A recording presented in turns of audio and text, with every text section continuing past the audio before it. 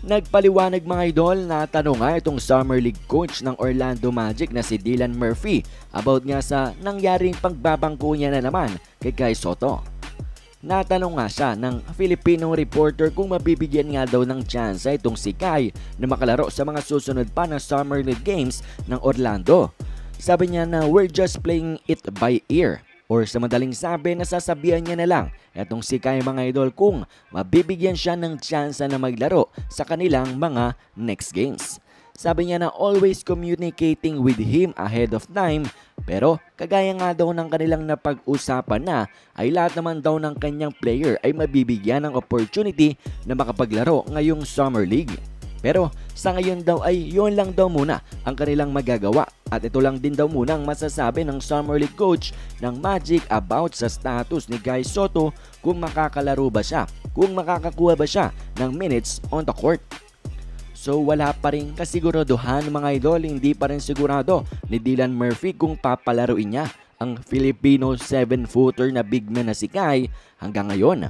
Matapos nga na iprotesta na, ipagsigawa na ng mga fans na gusto nga daw nila si Soto na makalaro, makita sa court ay wala pa nga rin talagang nangyari. Talagang nabangko pa rin etong si Kai.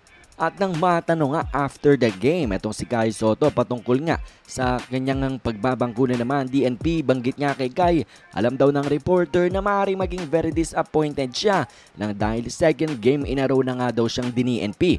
At mga idol, napatango agad itong si Guy Soto. At para bang pag-agree niya, yes na siya talaga namang dismayado na hindi pa rin siya nakakalaro.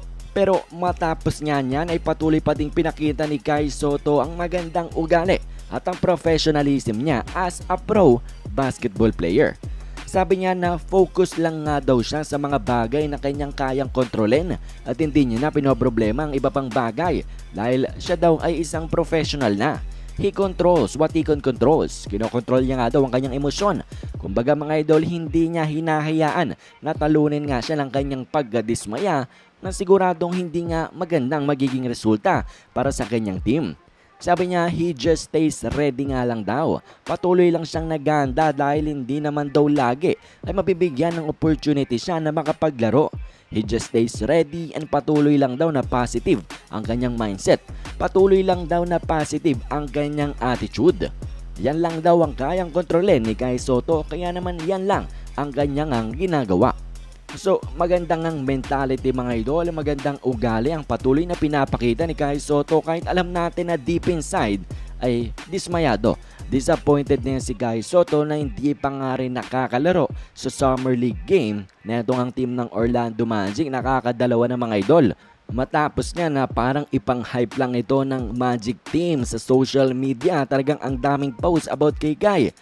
Pero I think that is just the reality mga idol. Yun lang talaga ang katotohanan na hindi talaga mabibigyan ng consistent minutes itong si Soto. Dahil marami ring rookies na nakuha itong team ng Orlando Magic na siguro gusto nilang makita kung ano ang kanilang magagawa dito sa Summer League at patuloy nila itong pinaglalaro.